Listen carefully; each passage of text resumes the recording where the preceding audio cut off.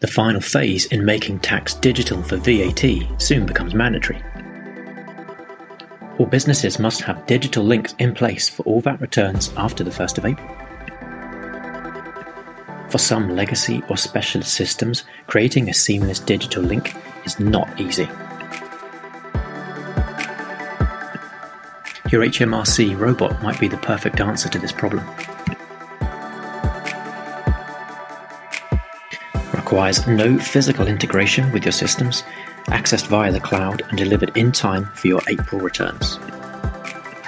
Get in touch to find out more at Lawrence and Wedlock, the automation experts.